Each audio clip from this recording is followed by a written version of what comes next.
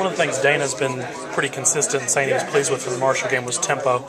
Uh, you you guys don't seem to use tempo like Oregon or some other teams where it just seems like it's get up on the line and go for however many snaps you play all game.